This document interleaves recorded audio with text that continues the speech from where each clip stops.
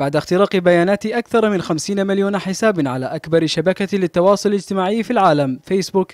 أصبحت بيانات شركة كامبريدج أناليتيكا بين أيدي المحققين حيث فتش محققون من الهيئة التنظيمية المعنية بحماية البيانات في بريطانيا مقر شركة بسبب ما زعم بأنها جمعت بشكل غير قانوني بيانات خاصة بمستخدمي فيسبوك لاستهداف ناخبين أمريكيين. قرابة عشرين مسؤولا وصلوا لمقر الشركة في وسط لندن. بعد أن منح قاض بالمحكمة العليا مكتب حماية البيانات في بريطانيا إذنا بالتفتيش.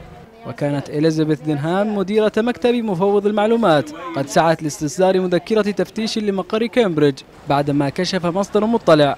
معلومات أن الشركة جمعت معلومات خاصة عن 50 مليونا من مستخدمي فيسبوك لدعم الحملة الانتخابية للرئيس الأمريكي دونالد ترامب في 2016 وتحقق بريطانيا لمعرفة ما إذا كانت فيسبوك. قامت بما يكفي لحماية البيانات بعد أن طلب مشرعون أمريكيون من الرئيس التنفيذي لشركة فيسبوك أن يمثل أمام الكونغرس لتوضيح كيفية وصول البيانات إلى شركة كامبريدج أناليتيكا.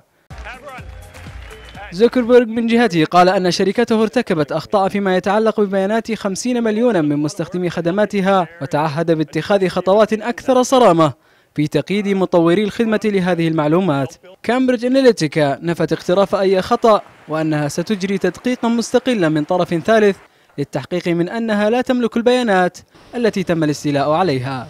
محمد العضياني الإخبارية.